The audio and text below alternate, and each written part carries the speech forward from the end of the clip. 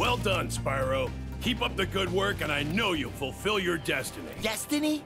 I just want to kick some. Just toast those enemies and collect the treasure.